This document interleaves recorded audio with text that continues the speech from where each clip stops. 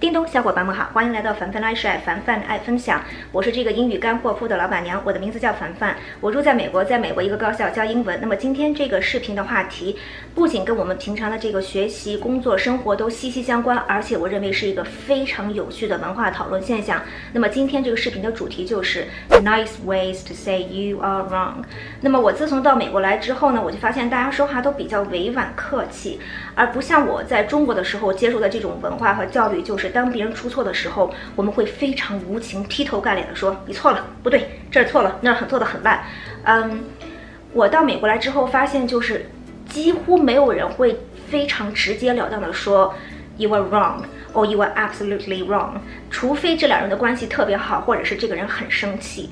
那么我们的这个中国传统文化，还有我们这个教育，基本上就是会让我们把这个关注点放在对方的缺点和错误上。我们从小到大都是在被纠错的这个过程当中长大的。然后呢，不管是长辈或者家长说话也比较直接，但是发现在美国，在西方国家，嗯，当别人犯错的时候，我们想去纠正别人的错误，有很多很多非常委婉的方式。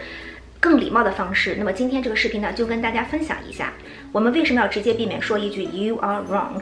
因为这个单词 "wrong" is often associated with guilt and morality。也就是当你在说一句你错了的时候，你在无形当中会给对方造成这种负罪和道德压力感。所以呢，我们要尽量避免这样非常直截了当的说法。那么怎么样去委婉的表达你错了呢？我们继续往下看吧。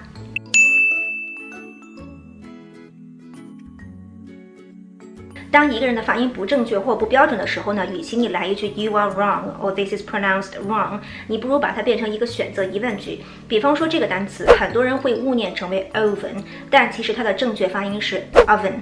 这个时候你就可以说 Um, is it pronounced oven or oven？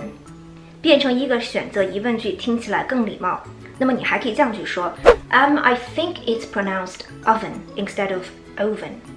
那么有些时候，为了更委婉，这个听者是不会去明确的指出或提出这个纠错的，他会把这个正确的发音再重新发一遍。比方说，你和你的朋友一起准备烤面包，这个时候你朋友说 Let's preheat the oven。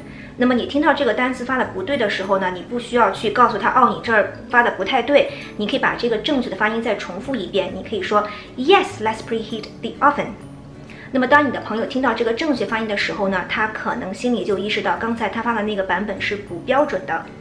那么，还有些时候，如果我们为了更委婉，可以用上这个句型。我之前跟大家分享过，就是 Excuse me if I'm wrong, but I think it's pronounced oven.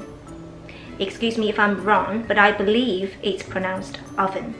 用上这个句型 Excuse me if 听起来会更委婉。那么，还有些时候，我们可以是这样去说。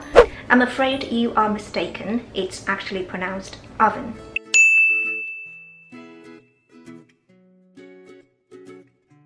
我在上课的时候呢，我的学生会经常回答我的问题。那么有些时候不完全正确，为了表达我的委婉，我经常会这样说：Um, it's not a hundred percent correct, but you're getting there. 那么这句话 you are getting there 非常非常有用，意思就是哎， 你接近了，你快到了。意思是嗯，你答的不错，但是呢，你的答案并不完全正确。那么有些时候我还可以这样去说，Yes, you're pretty close. Yes, you're pretty close. You're pretty close，意思就是嗯，你很接近，跟那个 you're getting there 的意思是一样的。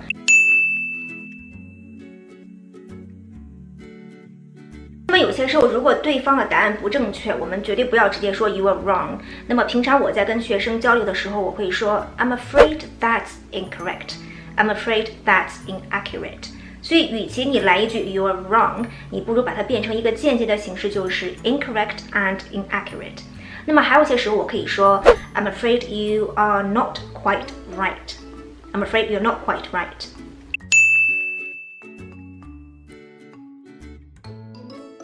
如果对方回答的问题是正确的时候，你可以这样去表达：You nailed it. You nailed it. 你还可以说 You got it. You got it.